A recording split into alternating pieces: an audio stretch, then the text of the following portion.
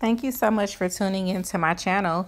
Um, you've you're in Jackie's Kitchen. Today we will be um, going over how to make a beef salsa dip and it is keto style. We're going to use the recipe out of this Keto Slow Cooker cookbook that I got from Amazon and I will post the link in my bio so you guys can um, or in the description. I wanted to show you that I actually did get this recipe from this book and we're going to go ahead and show you how to make this beef salsa dip. It's basically a rotel dip, but healthier. What you'll need for the recipe is garlic powder. You'll need Cavender's meat seasoning. I like to use Cavender's meat seasoning. If you have another seasoning you like, that's fine.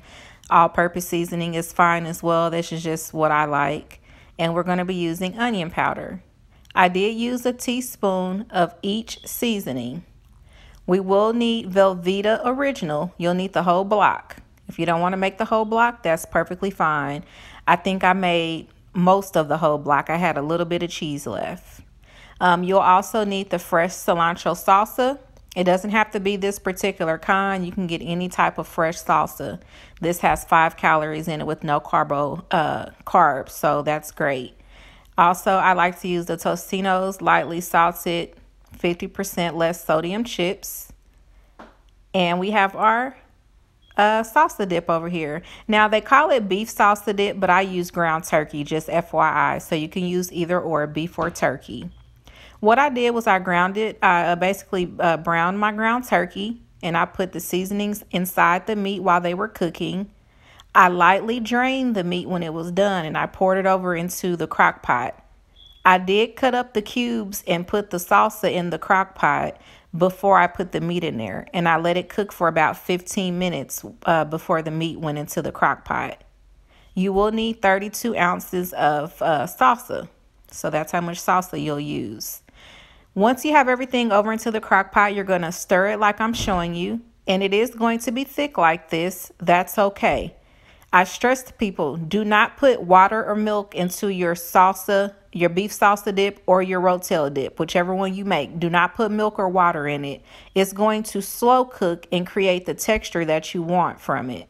So basically it's a little thick, but I'm just showing you this is what it looks like as you're going to stir it all together. It's a little thick, but it's going to be very delicious. I promise y'all. Um, and this is a healthier version, so you have to understand that it's not going to have all of the calories and uh, carbs that a can of Rotel would have in it. We're using fresh produce salsa. But this is what it's going to look like. And you just keep stirring it. You want to get those cheeses and salsa all mixed together. Now you want to cook it on high for one hour. You want to go ahead and let this cook on high for one hour.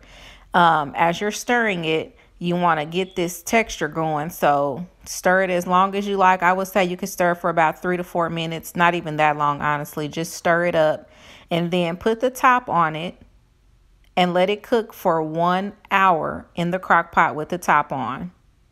One hour, you guys. This is what your rotel or your beef salsa dip will look like.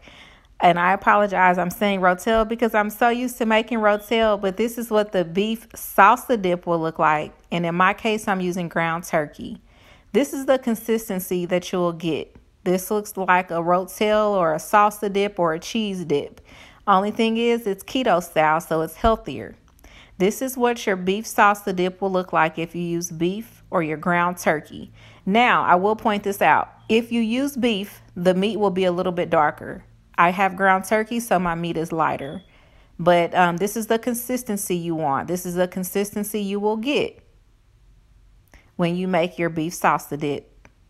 This is keto style. I hope you guys enjoy this recipe. If you like this video, click the like button, the thumbs up button, and also subscribe to my channel, you guys. This is keto style. You can still enjoy your chips and dip the healthier way. Less sodium, less carbs overall better for you. And I like to use ground turkey, so that's even better for your digestive system if you personally ask me. I'm not a doctor, but I'm just saying. But I hope you guys enjoy this. Again, it's not going to be as tasty as you would make when you make regular rotel, but it is healthier. And if you put it in your mind, honestly, it'll taste the same. This is a keto beef salsa dip. Thank you guys so much. Have a good one.